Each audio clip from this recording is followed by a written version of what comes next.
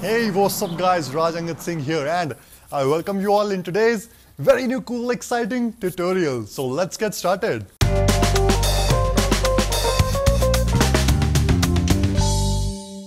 So guys, I shot two different clips of this scene.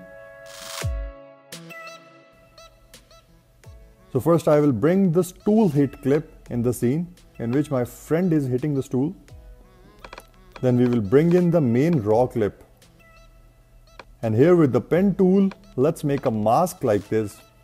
This mask should only have the upper body part, not the legs and not the stool also.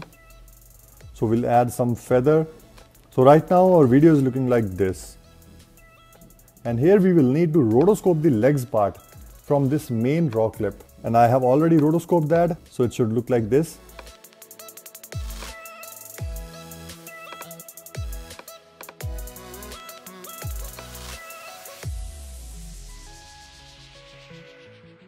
Now you can see the table is going behind my legs. So for these 3-4 frames, I have rotoscoped the table also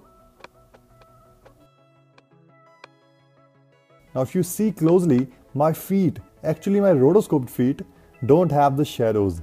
So simply mask out the feet along with its shadow from the main raw clip and we are done. So that's all for now guys. I hope you guys have learned and enjoyed this cool technique of making the invisible chair effect. And still if you have any questions or suggestions, just write them below in the comment section and we'll see you guys in the next video. Take care.